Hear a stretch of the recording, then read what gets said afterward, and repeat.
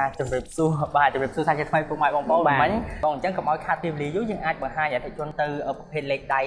មកបាំងសិនណាបងបាទបាទបាទហ្នឹងហើយអូខេអញ្ចឹងអញ្ចឹងសូសូមមអតិថិជនកាត់អាចអញ្ជើញមកមើលទាំងអស់គ្នាតើតើបាទទៅនឹង option ដូចជាលក្ខណៈពិសេសរបស់អឺប្រភេទ Triton លេខដៃមកបាំង បាទហ្នឹងហើយបាទបងបាទអញ្ចឹងអាចជម្រាបជូនអតិថិជនតើតើនឹងផ្នែកខាងមុខសិនណាបងបាទអឺសម្រាប់លេខដៃមួយបាងការរចនានៅផ្នែកខាងមុខគឺយើងត្រូវបានបំពាក់ជាមួយនឹងគេហៅថាជាប្រភេទប៉ាណាពណ៌ខ្មៅបាទបងប៉ាណាពណ៌ខ្មៅគឺយើងរំលេចជាមួយនឹងអា logo Mitsubishi អូខេពណ៌បងបាទនេះពបងណ៌ក្រមេបាទឬក៏យើងអាចនិយាយបានថាជាភាសាទូទៅគឺពណ៌ទឹកប្រាក់មើលទៅគឺស្រស់ស្អាតមែនតើបាទបងបាទបាទបាទហើយបើសិនជាយើងក៏លេខមើលមកជាជាគៀងសងខាងគឺយើងត្រូវបានបំពាក់ជាមួយនឹងជាគេហៅថាជាប្រភេទជាគៀង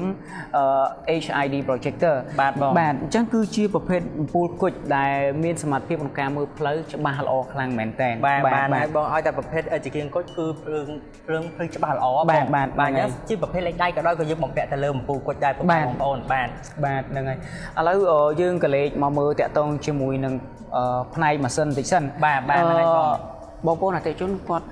គាត់គាត់ជាមានថាប្លែកតិចទេអញ្ចឹងបាទដល់បែនសុំបើកម៉ាស៊ីនតិចមកបាទបងបាទ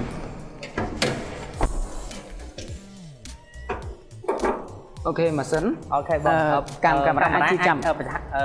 ចាប់ទៅលើម៉ាស៊ីនផ្នែកខាងក្នុងតិចទៅបាទបាទអឺសម្រាប់ប្រភេទលេខដៃមួយបាននេះគឺយើងត្រូវបានបំពាក់ជាមួយនឹងម៉ាស៊ីន2.5បាទបងបាទដែលយើងអឺផ្ដល់នៅកម្លាំងសេះរហូតដល់110សេះបាទបាទអញ្ចឹងជាប្រភេទលេខដៃកម្លាំងសេះ110សេះគឺពិតជាខ្លាំងមែនទែនសម្រាប់បងប្អូនអាជីវករឬក៏បងប្អូនដែលគាត់ត្រូវការដឹកអឺ សម្ភារៈធ្ងន់ធ្ងរគឺមិនបាច់បារម្ភទេបាទហើយអ្វីដែលពិសេសដូចបងអឺជម្រាបជូនអញ្ចឹងគឺយើងមានថែមទាំងបំពាក់ទៅនឹង turbo និងប្រព័ន្ធកាពីតាទៀតមែនទេបាទបងបាទហ្នឹងហើយជាប្រភេទលេខដៃក៏យើងបំពាក់ទៅលើប្រព័ន្ធកាពីតាដូចគ្នាដែរបាទបងប្អូនបងប្អូន សម្រាប់រថយន្ត pick up មួយចំនួនដែលជាប្រភេទលេខដៃហើយជាប្រភេទលេខដៃមួយបាងទៀតបាទបងប៉ុន្តែគឺអត់ត្រូវបានបំពាក់ជាមួយនឹងប្រព័ន្ធកាពីតាទេបាទប៉ុន្តែបាទសម្រាប់រថយន្តនេះទៀតសោតគឺយើងត្រូវបានបំពាក់ជាមួយនឹងកាពីតាមិនថាដឹកអីវ៉ាន់ធ្ងន់នៅលើផ្លូវគេហៅថាផ្លូវកស៊ូរៀបស្មើបាមិនទលើថាផ្លូវអឺគេហៅថាកលេសកលុកឬក៏បាទខ្លាំងអីទេគឺសិតតែយើងមានប្រប្រព័ព័ន្ធន្ធភាពដែលផ្លូវលំបាកហ៎បងបាទបាទហ្នឹងហើយ អូខេអឺអញ្ចឹងខ្ញុំសូមកលេចមកមើលផ្នែកអឺចំហៀងបន្តិចបាទចំហៀងនៃកង់ឡានរបស់យើងហ្នឹងណាបាទគឺយើងត្រូវបានបំពាក់ជាមួយនឹងប្រភេទកង់អាលុយមីញ៉ូម បាទបងអញ្ចឹងសម្រាប់កង់ទាំង4គឺយើងត្រូវបានបំពាក់ជាមួយនឹងប្រព័ន្ធ Frank ABS ទាំងអស់អញ្ចឹងមិនថាថាសកង់មុខមិនថាថាសកង់ក្រោយទេគឺយើងត្រូវបានបំពាក់ជាមួយនឹងប្រព័ន្ធ Frank សុវត្ថិភាព ABS ទាំងអស់បាទហ្នឹងហើយបងសម្ជាជាប្រព័ន្ធហ្វ្រាំងទំនើបដែលជាពិសេសហ្នឹងសម្រាប់អឺពេលបច្ចុប្បន្នគឺឲ្យតែប្រភេទរថយន្តចេញពីខាងក្រុមហ៊ុន Mitsubishi ផ្ទាល់គឺយើងបំពាក់ប្រព័ន្ធហ្វ្រាំង ABS ទាំងអស់បាទថាជាបាទប្រភេទហ្នឹងលេខអឺ ដៃឬមួយក៏លក្ខណៈគ្រួសារឬមួយក៏ជាប្រភេទលេខអូតូឲ្យពុកម៉ែបងប្អូនបាទបាទបាទហ្នឹងហើយបងអ្វីដែលសំខាន់ណាស់សម្រាប់រថយន្តនេះអឺផងដែរគឺយើងត្រូវបានបំពាក់ជាមួយនឹងប្រព័ន្ធ Frank មួយទៀតគេហៅថាប្រព័ន្ធ Frank EBD នៅពេលដែលយើងដឹកធ្ងន់បាទអញ្ចឹងគឺយើងត្រូវបានបំពាក់ជាមួយនឹងប្រព័ន្ធ Frank EBD ដូចគ្នានៅពេលដែលបងប្អូនដឹកធ្ងន់អញ្ចឹងណាគឺ EBD គឺវាមានមុខងារបែងចែកសង្កេត ប្រេងទៅកង់ទាំង4ឲ្យវាស៊ីស្មើស្មើគ្នាបាទល្អបាទមែអញ្ចឹងទែមានន័យថានៅពេលដែលយើងចាប់ប្រាំងបខំក៏វាមានលំនឹងហ៎បងបាទបាទទោះអត់ឲ្យរថយន្តយើងគឺកលិចកន្លក់ខ្លាំងទេបងបាទអត់ឲ្យកន្លក់ខ្លាំងហ៎បងបាទបាទបាទហ្នឹងហើយមិនគឺជាផ្នែកមួយសម្រាប់ផ្ដល់ប្រព័ន្ធសុវត្ថិភាពផងបាទដែរមិនថាគាត់ដឹកធ្ងន់មិនថាគាត់ជិះឡានទៅទេគឺបាទសិតតែមានគេហៅថាប្រព័ន្ធប្រាំងរបស់យើងជំនួយទាំងអស់នៅពេលដែលបាទជន់ប្រាំងម្ដងបាទម្កាលហ្នឹងហើយបងអញ្ចឹងណាបាទបាទបាទបាទអញ្ចឹងអឺដោយសារតែអឺ នេះយើងសូមកលេចមកមួយផ្នែកជំហៀងតែម្ដងអូណាខេបាទអញ្ចឹងអឺកាមេរ៉ាជួយបង្ហាញផ្នែកជំហៀងតិចទៅបាទបាទ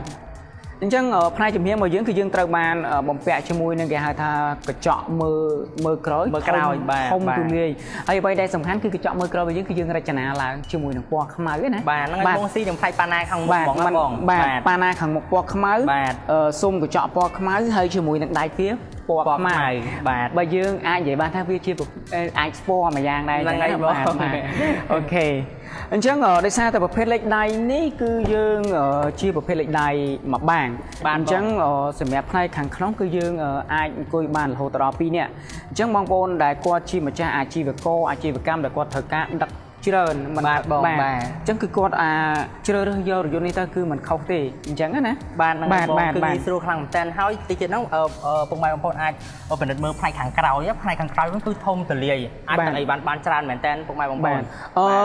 ដូចអ្វីដែលខ្ញុំបានជំរាបជូនពីមុនខាងនេះអញ្ចឹងអញ្ចឹងគឺយើងត្រូវបានបំពាក់ជាមួយនឹងប្រព័ន្ធកាពីតាបាទប្រអប់លេខរបស់យើងគឺជាប្រភេទប្រអប់អឺ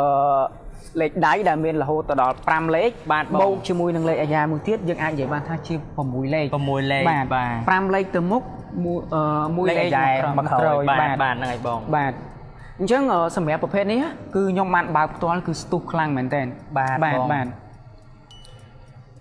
អូខេអញ្ចឹងអឺអាចកលេចមកមើលផ្នែកអឺផ្នែកខាងក្រោយបងឃ្លុបក្រោយបាទបាទមុននឹងចូលទៅដល់ក្លុបក្រោយខ្ញុំសូមបង្ហាញតាក់ទងជាមួយនឹងអឺគេហៅថារបារបាបាទហ្នឹងហើយបងអញ្ចឹងមិនថាចំហៀងឆ្វេងស្រាមពីខាងក្រោយគឺយើងត្រូវបានបំពាក់ជាមួយនឹងរបាអញ្ចឹងងាយស្រួលនៅពេលដែលអឺគាត់ដាក់អីវ៉ាន់ច្រើនគាត់ត្រូវការចងអីវ៉ាន់ណាបាទអញ្ចឹងបងរថយន្តមួយចំនួនគឺអត់មាន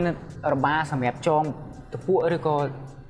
ចងខ្សែបាទេទបាទអញ្ចឹងបើសិនជាយើងដឹកអីវ៉ាន់អឺខ្ពស់ពិបាកនឹងចងរឹតបងបាទតែសម្រាប់អឺត្រៃតនអឺលេខដៃមួយបាំងនេះគឺយើងមានរបាស្រាប់អញ្ចឹងសម្រាប់ការចងអីវ៉ាន់ខ្ពស់ខ្ពស់គឺងាយស្រួលខ្លាំងមែនទែបាទសម្បរាប់ងបាទបងប្អូនចងរឹតបន្ថែមណាហ្នឹងហើយបាទបាទអញ្ចឹងយើងប្រហែលជានិយាយច្រើនណាស់អាចចូលមើលខមមិនមើលថាមានអតិថិជនដែលគាត់ខមមិនអត់បាទបងអឺបងអឺបងធុនគាត់ខមមិនសួរថាថ្លៃប៉ុន្មានអូនបាទបាទហ្នឹងហើយហើយសម្រាប់ការខមមិនបងអឺងួនច័ន្ទក៏គាត់សួរដែរថាតម្លៃប៉ុន្មានប្រាប់តម្លៃផងបាទបាទបងអឺសម្រាប់ត្រៃតុនអឺលេខដៃមួយបាំងបាំងបងប្អូនគឺតម្លៃ29000 បងជាតម្លៃប្រម៉ូសិនណាបងបាទបាទបាទហ្នឹងហើយអញ្ចឹងបើសិនជាអតិថិជនគាត់ចាប់អារម្មណ៍ទៅលើប្រភេទនេះផ្ទាល់គឺអាចតម្លាក់លេខទូរស័ព្ទទៅខាងក្រុមហ៊ុននឹងធ្វើការតាក់ទងទៅគាត់ដើម្បីផ្ដល់ព័ត៌មានជូនគាត់ឲ្យកាន់តែច្បាស់បាទបាទបាទបាទសម្រាប់បងរថយន្តនេះគឺខ្ញុំសូមបញ្ជាក់មួយសារទៀតតម្លៃនេះគឺជាតម្លៃ promotion promotion បាទបាទសម្រាប់សប្តាហ៍នេះគឺដូចជានៅក្នុងការ live ផ្ទាល់នេះបាទប៉ុន្តែបាទសម្រាប់ហ្នឹងហើយបងតម្លៃពេញទៀតសោះគឺរហូតដល់31900បាទហ្នឹងហើយបងអឺតម្លៃដែលខ្ញុំជម្រាបជូនហ្នឹងគឺបាទ29000ជាតម្លៃប្រម៉ូសិនទេបាទតម្លៃហ្នឹងហើយពេញក៏បាទ30000ជាងអញ្ចឹងបាទសម្រាប់បងប្អូនដែលគាត់មានបំណងយករថយន្តនេះយកទៅប្រើប្រាស់ក្នុងអាជីវកម្មបងប្អូនអាចអឺតម្លាក់លេខឬដូចជាឆាតសួរក្រុមការងារយើងនឹងធ្វើការផ្ដល់ព័ត៌មានជូនបងបន្ថែមទៀតបាទតាក់ទងហ្នឹងហើយជាមួយបងនឹង option មួយចំនួនក៏ដូចជាតាក់ទងជាមួយនឹងតម្លៃបាទដូចបាទគ្នាហ្នឹងហើយបងអញ្ចឹងបងឲ្យខ្ញុំចង់ឲ្យបងបញ្យល់បន្ថែមតទៅនឹងប្រព័ន្ធជើងក្រោមក៏ដូចជាសមត្ថភាពសម្រាប់ការដឹកអីបាទបានណាបន្ថែមជូនអតិថិជនគាត់បាទចង់ដឹងថាអឺត្រៃតនប្រភេទលេខដៃមួយបាំងហ្នឹងតើមានសមត្ថភាពដឹកទម្ងន់បានប៉ុណ្ណាបាទហើយបាទប្រភេទជើងក្រោមហ្នឹងគឺប្រើប្រភេទជើងក្រោមអ្វីដែរអូខេអឺបាទអរគុណច្រើននៅសំណួរបាទបងអឺសម្រាប់ប្រព័ន្ធជើងក្រោមគឺយើងត្រូវបានចែកចេញជាពីរប្រព័ន្ធជើងក្រោមនៅផ្នែកខាងមុខជាមួយនឹងប្រព័ន្ធជើងក្រោមនៅផ្នែកខាងក្រោយបាទបងហើយអឺដោយសារតែយើងមកដល់ក្រោយហើយអញ្ចឹងខ្ញុំសូមបង្ហាញតាក់ទងជាមួយនឹងប្រព័ន្ធជើងក្រោមនៅផ្នែកខាងក្រោយតែម្ដងបាទអញ្ចឹងប្រព័ន្ធជើងក្រោមនៅផ្នែកខាងក្រោយគឺយើងមិនចោលទេតាក់ទងជាមួយនឹងរថយន្ត pick up គឺយើងត្រូវបានបំពាក់គេហៅថាជាមួយនឹងជាទៀសដែលមានមុខងារក្នុងការត្រទម្ងន់ធ្ងន់ប៉ុន្តែគឺយើងត្រូវបានបំពាក់ជាមួយនឹងគេហៅថាបូមួយដែរ បាទអញ្ចឹងរថយន្ត pick up គឺយើងបំពាក់ជាមួយនឹងជាទៀសហើយយើងអឺបំពាក់ជាមួយនឹងបូមួយបន្ថែមនៅពេលដែលយើងជិះអឺគេហៅថាអត់ទាន់មានការដឹកអីវ៉ាន់អីច្រើនណាបាទអញ្ចឹងរថយន្តនេះគឺវាមិនសូវរលាក់ទេវាជួយការកាត់បន្ថយការរលាក់ខ្លាំងមែនទែនអូមិនពិសេសមិនខ្លាំងអឺមែនទែនណាបងបងប្អូនបាទគាត់គាត់ថារថយន្ត pick up full option របស់យើងសម្រាប់ជាប្រភេទលេខអូតូបូមប្រព័ន្ធជើងក្រោមវាអត់សូវរលាក់ទេសម្រាប់ផ្នែកខាងក្រោយបាទអញ្ចឹងគាត់បាទហើយបងគាត់ឆ្ងល់ថាសម្រាប់ pick up មកបាងលេខដៃពីបាងលេខដៃនេះវារលាក់អត់អញ្ចឹងណាបាទបាទបាទ ណៃបងអធិស្ឋានខ្ញុំសូមអានខមមិនបន្ថែមណាបងអឺបងណារិតគាត់សួរថាតម្លៃ promotion ប៉ុន្មានហើយជាផលិតផលប្រទេសណាបាទបងអឺសម្រាប់ប្រភេទលេខដៃតម្លៃ31900 ហើយតម្លៃ promotion វិញគឺចុះសល់29000បងបងអាចធ្វើការតម្លាក់លេខនៅក្នុង comment នឹងបានគឺខាងក្រុមហ៊ុនបងអូននឹងធ្វើការតាក់ទងទៅបងផ្ទាល់បាទបាទហើយសម្រាប់អឺផលិតផលរបស់ប្រទេសណាវិញគឺសម្រាប់ Mitsubishi គឺជាផលិតផលរបស់ប្រទេសជប៉ុនបាទប៉ុន្តែតាក់ទងទៅនឹងអឺអត្រៃតុនជាប្រភេទលេខដៃអឺមួយបាំងឬមួយក៏ពីរបាំងហ្នឹងគឺយើងដំឡើងនៅប្រទេសថៃហ៎បងអូខេបាទបាទហ្នឹងហើយបងសម្រាប់ការនាំចូលបាទ ម្យ៉ាងទៀតអឺសម្រាប់រថយន្តទាំងអស់គឺយើងសិតតែបានបូកបញ្ចូលជាមួយនឹងការធានាជូនបងរយៈពេលបាទ3ឆ្នាំឬក៏100,000គីឡូបាទហ្នឹងហើយបងអូហើយខេអ្វីដែលពិសេសហ្នឹងបងអឺមិនថាមានទាំងការធានាបងគឺមានទាំងការថែមជូនផ្សេងទៀតបាទគឺមានមានអីខ្លះដែរទៅបាទហ្នឹងហើយបងសម្រាប់ការថែមជូនរបស់ក្រុមហ៊ុនផ្ទាល់គឺមានថែមជូនកម្រាលជើងបាទបាទអឺមួយឈុត សាកលេខធម្មតាមួយបាទនិងការដូរប្រេងម៉ាស៊ីនចំនួន3ដងបាទហ្នឹងហើយបងបាទបាទគ្រប់ប្រភេទទាំងអស់តែម្ដបាងទបងគឺសម្រាប់ការថែមជូនណាបងអូខេហើយការធានាហ្នឹងក៏បញ្ជាក់ជូនដែរគឺធានាចេញពីរោងចក្រផ្ទាល់ផ្ទាល់រយៈតែម្ពេលដង3ឆ្នាំឬមួយក៏10 10,000គីឡូបាទ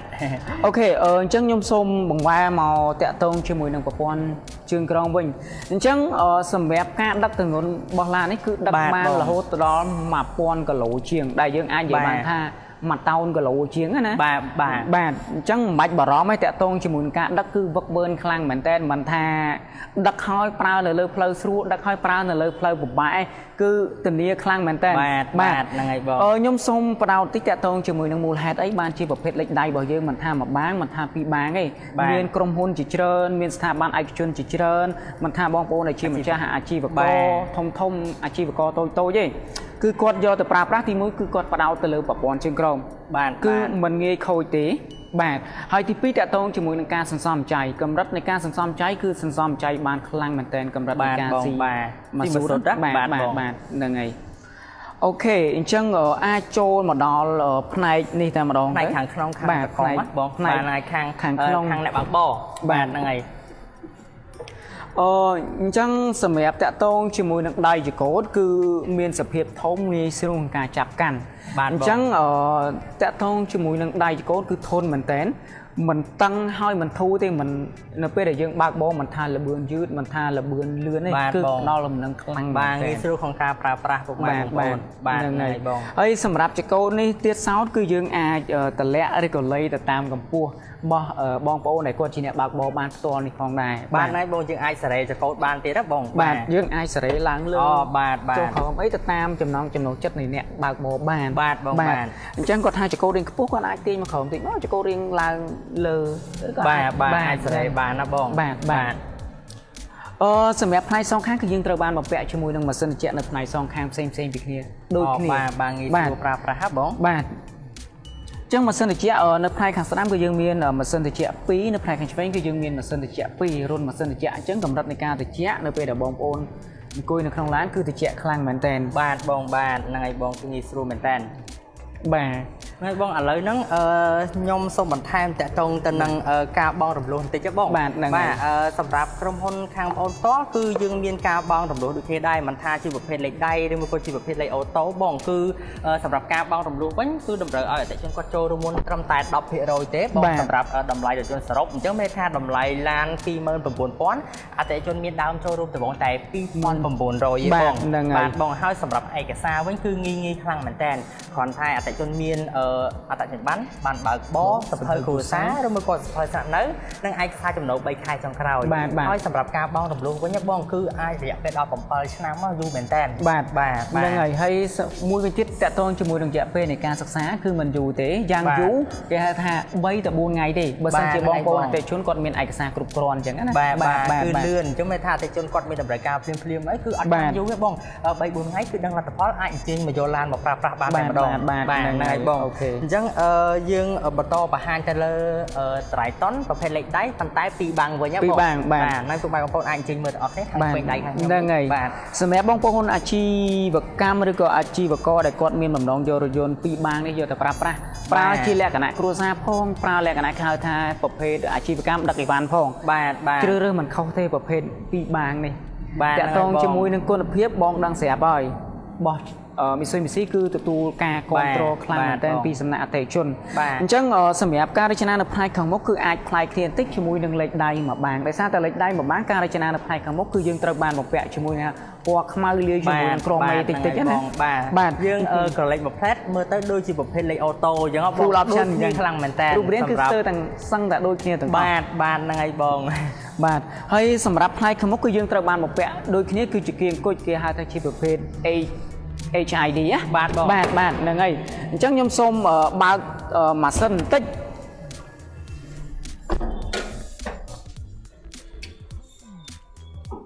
អូខេបាទហ្នឹងហើយបងបងអាចជម្រាបជូនដល់ជនតទៅនឹងម៉ាស៊ីនអឺប្រភេទលេខអឺប្រភេទលេខដៃប៉ុន្តែអឺអឺពីរបាំងវិញបាទហ្នឹងហើយអឺសម្រាប់ប្រភេទលេខដៃពីរបាងនេះគឺយើងត្រូវបានបំពាក់ជាមួយនឹងម៉ាស៊ីន Myvic ដូចគ្នាដែលមានទំហំរហូតទៅដល់ 2.4បាទហ្នឹងហើយបង2.4ហ្នឹងហើយហើយយើងអាចផលិតកម្លាំងសេះរហូតដល់136សេះបាទខ្លាំងបាទមែនហ្នឹងតើហើយបងអញ្ចឹងមានថាកម្លាំងសេះក៏ដូចជាម៉ាស៊ីនខុសពីអឺលេខដៃប្រភេទមួយបាំងបន្តិចបាទណាស់បងប្អូនបាទបាទហើយសម្រាប់រថយន្តនេះទៀតទៀតសោតគឺយើងត្រូវបានបំពាក់ជាមួយនឹង turbo ជំនួយដែរបាទបងប្អូនគាត់គាត់ថា2.4ខ្សោយហើយតូចទៀតបាទប៉ុន្តែបងគឺអត់ទេ គឺយើងបំពាក់ជាមួយនឹង turbo បាទអញ្ចឹងវាផ្ដល់កម្លាំងខ្លាំងម៉ាស៊ីនតូចប៉ុន្តែផ្ដល់កម្លាំងខ្លាំងហើយអ្វីដែលសំខាន់គឺ កម្រិតនៃការសន្សំចៃ100គីឡូគឺស៊ីតិចមែនតើសម្រាប់រថយន្តអឺប្រភេទលេខដៃពីរបាំងនេះហ៎បងស៊ីចន្លោះប្រហែលប្រហែលលីត្រអឺដែរបងជាជាស្តង់ដារចន្លោះពី7ទៅ8លីត្រណាបាទប៉ុន្តែមានបាទអតិថិជនដែលគាត់ប្រើប្រាស់ជាក់ស្ដែងគាត់ថាស៊ីចន្លោះពី8 អឺពី5.8រហូតទៅដល់6លីត្រទេ6ក្នុង100គីឡូបាទណាហ្នឹងហើយបងព្រោះអីអឺអានេះគឺជា comment របស់អតិថិជនដែលគាត់ជាអ្នកប្រើប្រាស់ផ្ទាល់តែម្ដងបាទហ្នឹងហើយបងព្រោះដោយសារស្តង់ដារដែលយើងទទួលបានពីប្រទេសជប៉ុនមកគឺចន្លោះពី7ទៅ8លីត្រក្នុងបាទ1គីឡូហ្នឹងហើយអញ្ចឹងបើសិនជាអតិថិជនដែលគាត់អឺប្រើប្រាស់អឺចន្លោះពី5លីត្រជាងទៅ6លីត្រជាងហ្នឹងប្រហែលជាគាត់ស្គាល់ពីរថយន្តច្បាស់បាទដឹងហ្នឹងពីហើយវិធីនៃការប្រើប្រាស់បាទជន់ហ្គាជន់ហ្វ្រាំងអមអីអញ្ចឹងហ៎បាទបងហ្នឹងហើយបាទហ្នឹងហើយបងអូខេ អូខេអញ្ចឹងអឺយើងអាចក៏លេខមើលលើផ្នែកចំហៀងបន្តិចតាក់ទងជាមួយបាទនឹងបងយ៉ានកង់អញ្ចឹងយ៉ានកង់របស់យើងគឺយើងជាប្រភេទគេហៅថាអាលូមីញ៉ុមដូចគ្នាដូចគ្នាបាទបងបាទទំហំកង់រហូតទៅដល់16អ៊ីងបាទបាទបាទហើយសម្រាប់អឺដូចតែបានជំរាបជូនមុនហ្នឹងគឺអត់ខុសទេសម្រាប់រថយន្តនេះគឺយើងត្រូវបានបំពាក់ជាមួយនឹងប្រព័ន្ធហ្វ្រាំង ABS ប្រព័ន្ធហ្វ្រាំង ABD ដូចគ្នាដូចគ្នាបាទអូខេបងបាទ ហើយអឺអាចកលេចមើលមើលផ្នែកចំហៀងខាងលើនេះតិចទៀតគឺយើងត្រូវបានបំពាក់ជាមួយនឹងកញ្ចក់ដែលជាប្រភេទក្រូមេបាទស៊ីជាមួយនឹងប៉ាណាស៊ីជាមួយនឹងដៃទ្វារដៃទ្វារបាទទាំងបង4របស់យើងគឺយើងត្រូវបានបំពាក់ជាមួយនឹងក្រូមេដូចគ្នាស្រស់ស្អាតបាទហើយបងខុសពីអឺលេខដៃមួយបាំងបន្តិចហ៎បងបាទលេខដៃមួយបាំងមុខពណ៌ខ្មៅក្រោមពណ៌ខ្មៅកញ្ចក់ពណ៌ខ្មៅបាដែរទបាទពេលសម្រាប់ពីរបាំងគឺក្រោមពណ៌ទឹកប្រាក់កញ្ចក់ពណ៌ទឹកប្រាក់ដូចគ្នាដែរបាទបាទបាទហើយគឺយើងត្រូវបានបំពាក់ជាមួយនឹងឈ្នាន់ជាន់ដែលគេហៅថាអឺ ផ្ដល់ភាពរឹងមាំខ្លាំងមែនតើបាទបង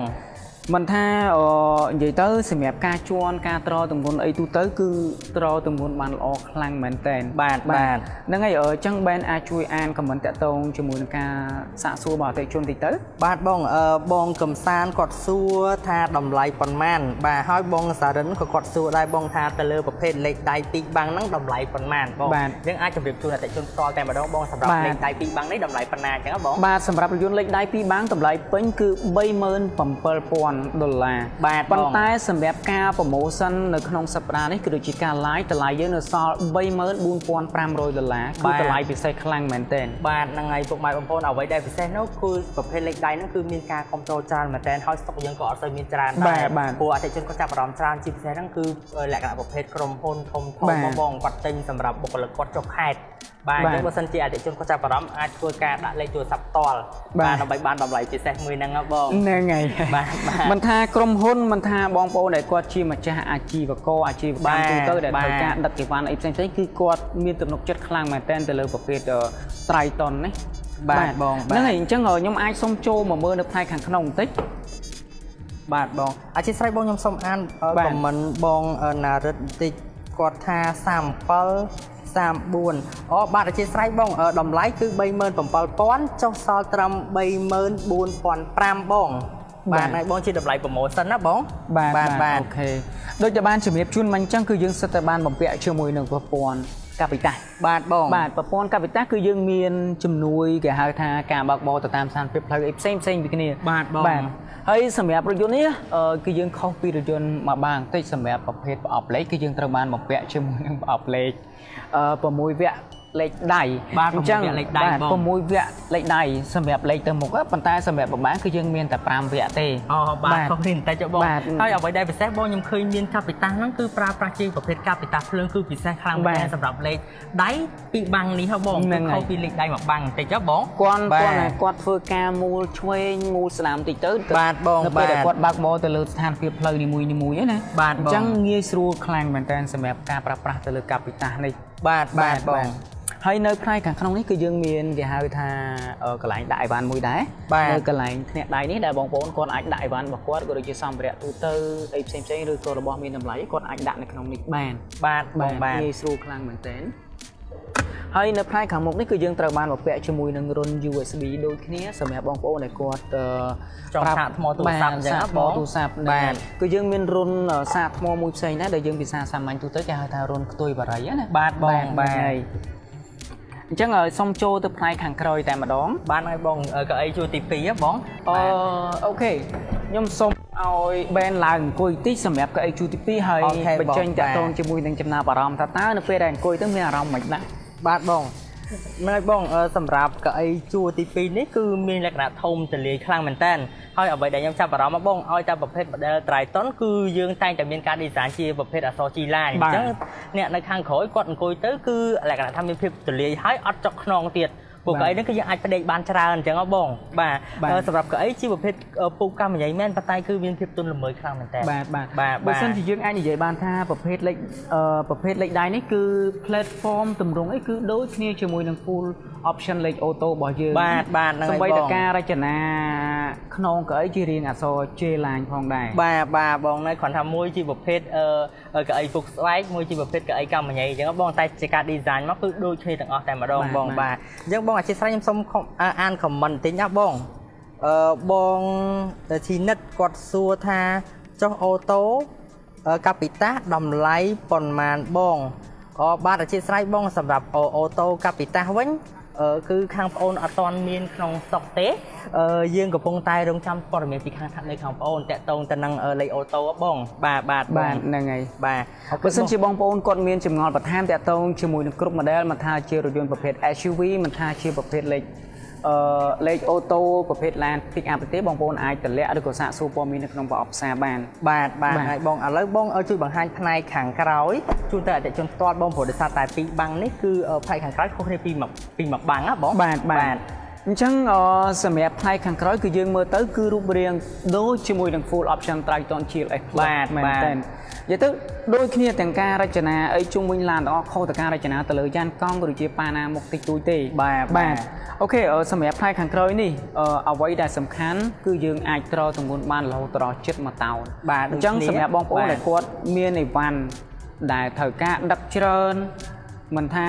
អឺអីវ៉ាន់តិចអីវ៉ាន់ច្រើនទេបាទហ្នឹងហើយបងអាចដឹកបានដល់ទៅ1តោនមួយតោនបាទបាទហ្នឹងហើយអញ្ចឹងគឺងាយស្រួលមែនតើបាទដូចអឺខ្ញុំជម្រាបជូនខាងដើមអញ្ចឹងហ៎បងអតិថិជនដែលគាត់ត្រូវការដឹកអីវ៉ាន់ចុះខេត្តប្រើប្រាស់គឺងាយស្រួលហើយអ្វីដែលពិសេសហ្នឹងគឺអឺជាប្រភេទលេខដៃប៉ុន្តែកាពីតាហ្នឹងគឺយើងប្រើជាប្រភេទកាពីតាភ្លើងឯងអញ្ចឹងងាយស្រួលប្រើប្រាស់ខ្លាំងមែនតើបាទបាទហ្នឹងហើយអូខេអឺនៅពីខាងក្រោយនេះណាអញ្ចឹងគឺយើងមានបំពាក់ជាមួយនឹងឈ្នាន់ជាន់បាទដូចពីបាទជំនាញដែរ អញ្ចឹងទៅគឺប្រហាក់ប្រហែលគឺដូចគ្នាទៅជាមួយនឹង full option ដូចគ្នាបាគឺទឈ្នាន់ជាន់ការរចនាឈ្នាន់ជាន់មកគឺតែមួយទេហើយអាចត្រទម្ងន់បានខ្លាំងបានធ្ងន់មែនតើបាទបងបាទ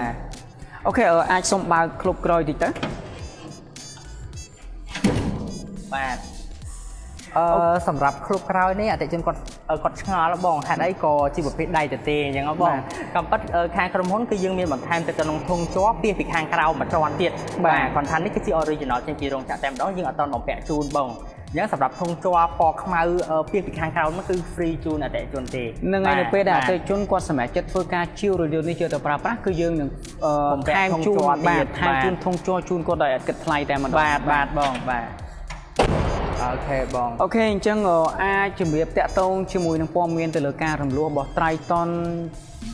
លេខដៃពីរបាំងនេះតិចទៅពីបាទបងតើលក្ខខណ្ឌអីផ្សេងផ្សេងៗទូទៅដូចជាមួយនឹងលេខដៃមួយបាំងយើងអត់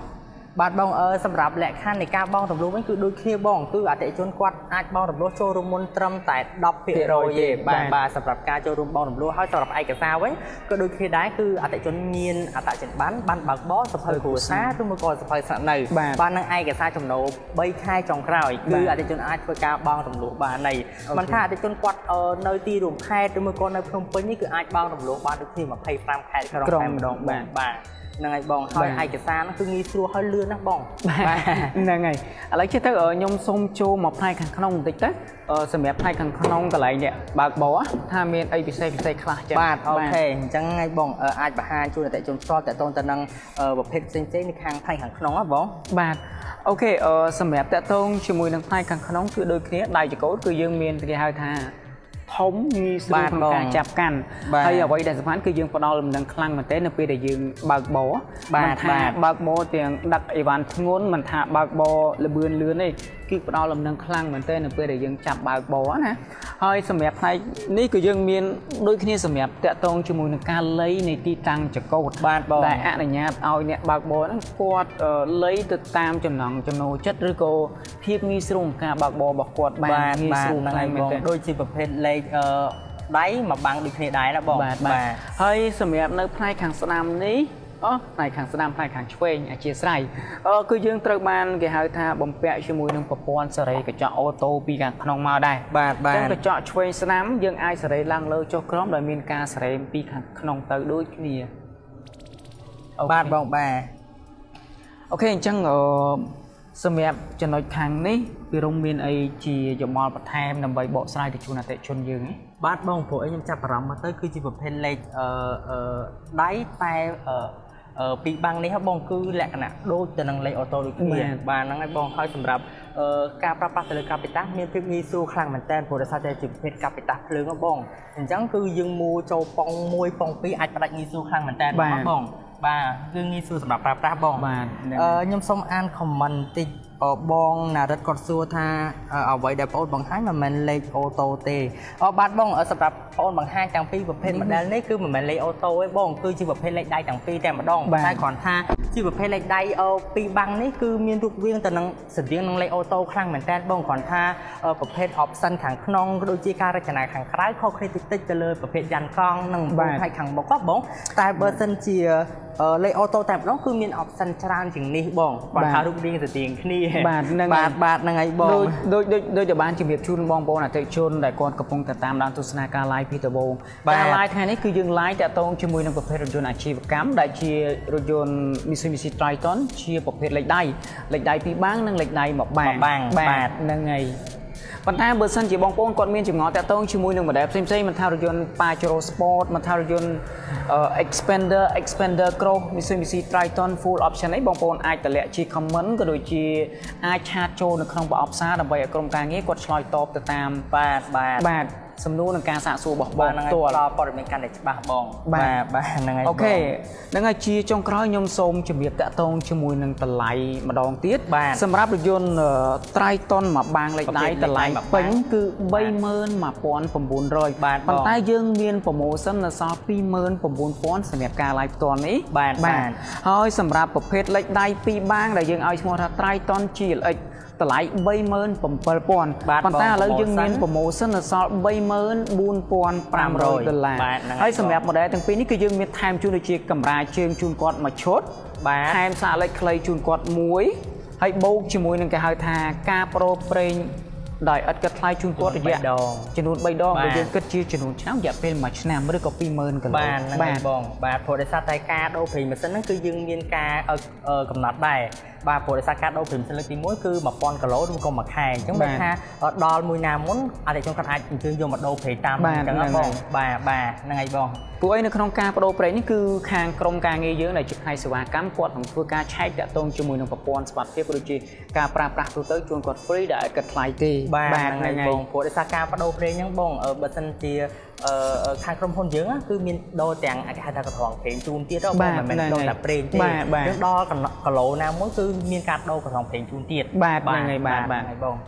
អូខេជាចុងក្រោយសម្រាប់បងប្អូនដែលគាត់មានចម្ងល់ឬក៏ចង់សាកសួរព័ត៌មានបន្ថែមទាក់ទងជាមួយនឹងការរំលោះក៏ដូចជាតម្លៃអីផ្សេងៗបងប្អូនអាចឆាតសួរឬក៏តម្លាក់លេខទូរស័ព្ទនៅក្នុង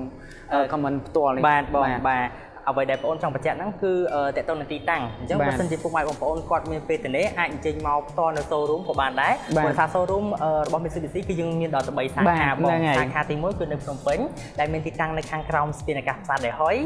ទីតាំងទី2គឺនៅខាងខេត្តសៀមរាបបងសុលមុខនឹងបរិយាសៀងណាំផ្លូវជាតិលេខ6តែម្ដងសម្រាប់ទីតាំងទី3គឺនៅខាងសាខាខេត្តបាត់ដំបងគឺនៅចិត្តតាដំបងកញ្ញូងបងបាទសម្រាប់ទីតាំងនៅភ្នំពេញផ្ទាល់គឺយើងបើកពេញមួយសប្តាហ៍ហ្នឹងហើយបាទបងសម្បីតែថ្ងៃអាទិត្យក៏យើងបើកធម្មតាដែរបាទពីម៉ោង8ព្រឹករហូតដល់ម៉ោង5ពេលល្ងាចដោយឡែកថ្ងៃអាទិត្យពីម៉ោង9ពេលព្រឹករហូតដល់ម៉ោង4នេះបាទបាទបាទហ្នឹងហើយអញ្ចឹងបើសិនជាចាប់អារម្មណ៍អីពុកម៉ែបងប្អូនអាចជិះមកមើលផ្ទាល់តែម្ដងបាទបាទហ្នឹងហើយបងហើយអ្វីដែលបញ្ជាក់បញ្ជូនមួយទៀតតទៅនឹងការបោះរំលោះដូចនិយាយតែតែអញ្ចឹងបងលក្ខខណ្ឌងាយស្រួលចូលរួមមុនត្រឹមតែ10%ទេអញ្ចឹងអតិជនគាត់មានអឺដើមតូនចូលរួមមុនដូចជាចាក់ស្អែកទៅលើ model single tape អឺបបាំងហ្នឹងបងបាទតែ2900អាចបោះនឹងបានហើយបងសម្រាប់ប្រភេទពីបាងគាត់មានខ្ទង់តែ3400ដុល្លារជាងទៀតអាចយកឡើងអាចបោះបានបានហ្នឹងហើយសម្រាប់អាជីវកម្មហ្នឹងហើយបងខ្ញុំមានតែប៉ុណ្្នឹងអញ្ចឹងហ្នឹងហើយអស់អីបន្ថែមបងបាទហ្នឹងហើយបងយើងជាចុងក្រោយយើងខ្ញុំទាំងពីរអ្នកសូមខន្តីអភ័យទោសរាល់ពីសម្ដីឬមួយក៏ត្រង់ណាមិនអឺ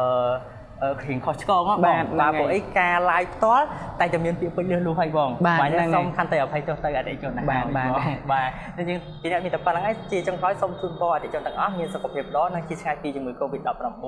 បាទ